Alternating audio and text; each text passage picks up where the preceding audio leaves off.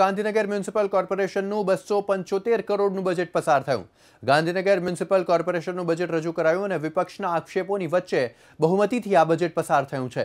વિપક્ષે સૂચનો સાથે વિરોધ પણ કર્યો હતો, પરંતુ મેયર પ્રવીણ પટેલે આ બજેટને વિકાસલક્ષી ગણાવ્યું. સાથે જ દાવો કર્યો કે કોર્પોરેશનમાં સમાયેલા ગામડાઓને પણ સંપૂર્ણપણે સુવિધા પૂરી પાડવામાં આવશે.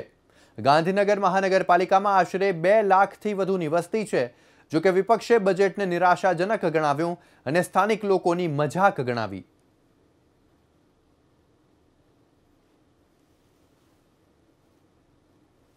એક પણ પ્રકારનો વધારાનો ટેક્સ મહાનગરપાલિકાના પ્રજાજનો પર મૂકવામાં નથી આવ્યો. આ બજેટ કરકસરપૂર્વકનું બજેટ છે. આ પ્રજાભિમુખ બજેટ છે. આ બજેટની અંદર વર્ષ દરમિયાન બાણું પોઈન્ટ બાર કરોડની રેવન્યુ આવક હતી.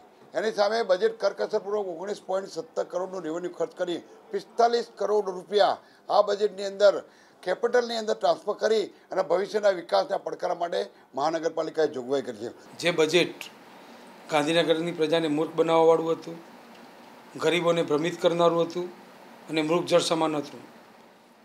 છેલ્લા ચાર બજેટથી અમે સાંભળતા આવ્યા છીએ, ગાંધીનગર બજેટની અંદર જોગવાઈઓમાં કે રેન બસેરા બનશે મલ્ટી લેવલ પાર્કિંગ બનશે ઓવરબ્રિજ બનશે કોમ્યુનિટી હોલ બનશે.